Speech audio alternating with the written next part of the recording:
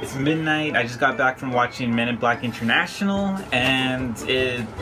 No, I'm not gonna say it was okay. Ugh, it, was- it was just there, I guess. Thank God I didn't pay a lot of money for this. Let me just get through the positives, and don't worry, the short the list is short.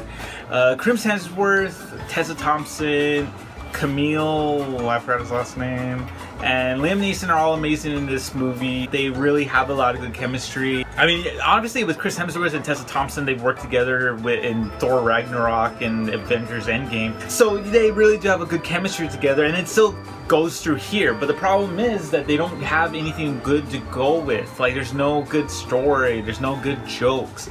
Nothing really flows, or nothing really makes any sense honestly, after I got out of the movie, I was just talking with my friends about The Society on Netflix, and for some weird reason, that got me more excited to talk about like something in, in some different medium than than the freaking movie I just got off seeing.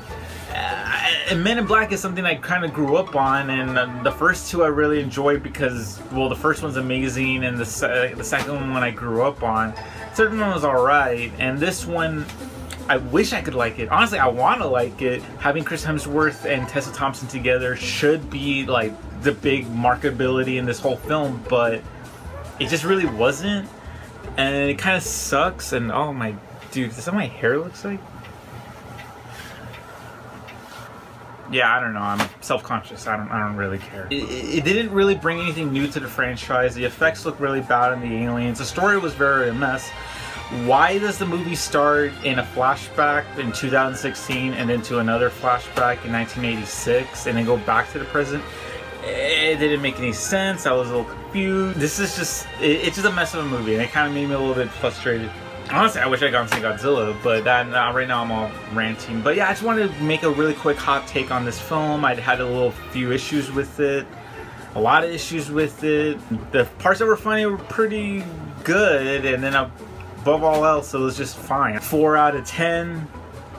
It's just it's fine. Like honestly, it's a movie I would recommend if you find it on rental or on DVR, but it's not something I would like highly go and sought after and see right now. Uh, which sucks. So I kind of wish there was an. I wish there was a film with Chris Hemsworth and Tessa Thompson playing these roles, but with a better script, with a better story, or at least something where they interact for a few minutes with the with Will Smith and Tommy Lee Jones to pass the torch. I think that was another problem with this film is that you don't understand what happened to those guys in this in this series, but they do have connections, obviously. But it's whatever. That's Men in Black International. Watch it. Actually, don't watch it. I, I don't know what I'm doing.